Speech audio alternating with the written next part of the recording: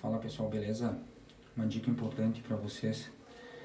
É, quem tem vaso da Encepa na sua casa, né? Sabatini, a gente tem um problema com esse vaso. A gente está com vazamento, consumo bem elevado de água, mais de 500 reais.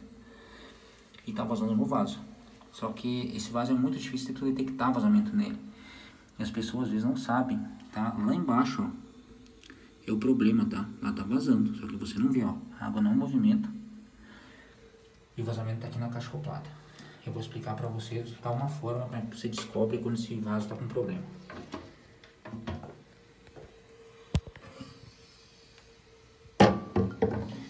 Ó, nosso problema tá na torre. Isso aqui é o ladrão. O que acontece com isso aqui? Pra que não transborda quando estrague a torre, né? Não venha estragar seu piso, alguma coisa assim, seu banheiro. É inventado esse sistema que ele vai embora essa água que vai pro esgoto, vai pro ralo, né? Vai embora. Ah, o ladrão tá transbordando, ó. O barulho. Eu vou levantar a boia aqui com a mão. Parou. Ó. Tá? Aqui, momentaneamente, eu consigo resolver dando uma leve inclinada na boia para baixo. Tá? Só vou fazer com, a, com, as duas mãos aqui. Segura aqui pra mim, Gabi. Vou fazer com as duas mãos, duas mãos aqui, só não corro risco de quebrar, tá? Porque ela tá muito seca. Só você dobrar a ponta aqui dela. Que vai resolver. Em partes, tá? Por quê? Porque ela gira.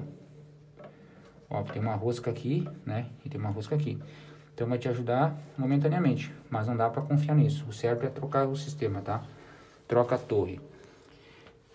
Eu gosto da torre da Sense e da Blue Kit, tá? Eu indicaria uma marca boa aí. Agora eu vou dar uma leve baixada de água para vocês perceberem o que, que vai acontecer. Aí tá cheio, tá? Ó, vou abrir, vou abrir um pouquinho lá. Ó, já abri.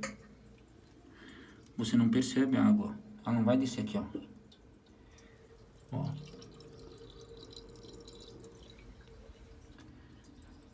Por quê? Porque não dá tempo dela chegar aqui. Agora começou, vou abrir mais.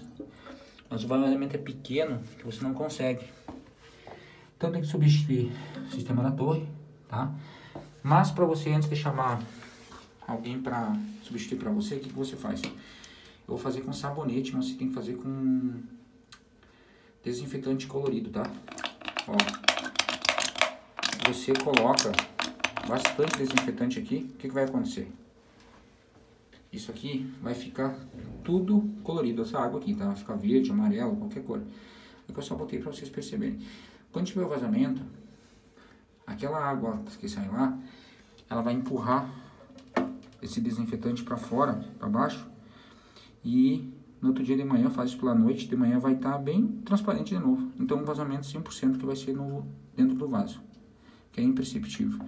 Vocês vão ver agora que eu vou dar descarga e o maior fluxo de jato de água realmente é lá. Aqui é mais para limpeza do vaso, mas o, o jato de água para fazer a, as fezes ir embora é lá. Então, vamos ver, vamos ver agora. Ó.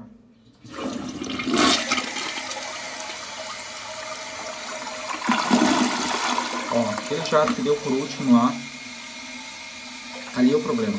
Tá? Então é imperceptível só dessa forma, colocando um produto colorido de um dia para o outro, deixando à noite, você vai perceber. Tá?